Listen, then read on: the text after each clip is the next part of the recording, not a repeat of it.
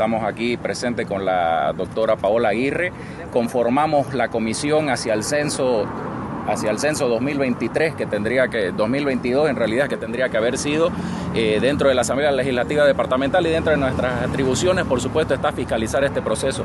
Estamos sumamente preocupados que se hayan tomado decisiones unilaterales de suspender este proceso tan importante y tan fundamental para todas las instituciones y para toda la población de este departamento que alegremente hayan dicho que se iban a tardar dos años más en volver a, elaborar este proceso.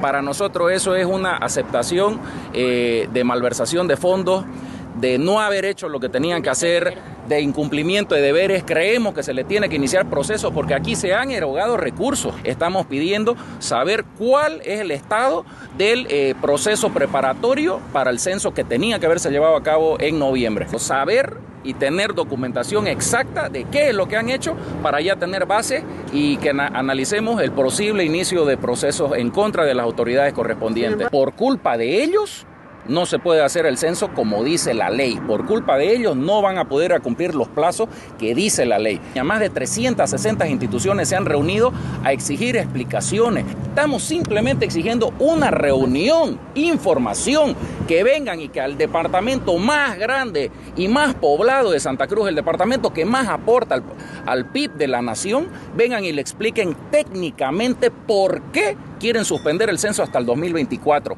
y que nos digan técnicamente cuándo puede ser lo más antes posible que ese censo se lleve adelante.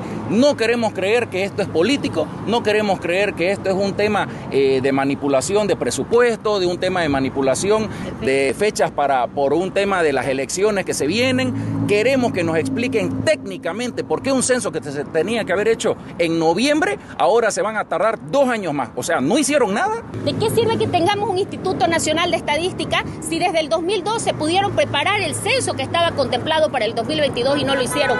¿De qué sirve la Procuraduría General del Estado que solo le genera a Bolivia y a los bolivianos pérdidas millonarias por no tener la capacidad y la responsabilidad de llevar adelante los juicios? Que sepa el gobierno de que Santa Cruz ha dado este ultimátum, ultimátum en el ejercicio de derechos constitucionales como es el de la protesta pacífica. Santa Cruz va a manifestar su repudio a esta decisión arbitraria de postergar el censo hasta el 2024.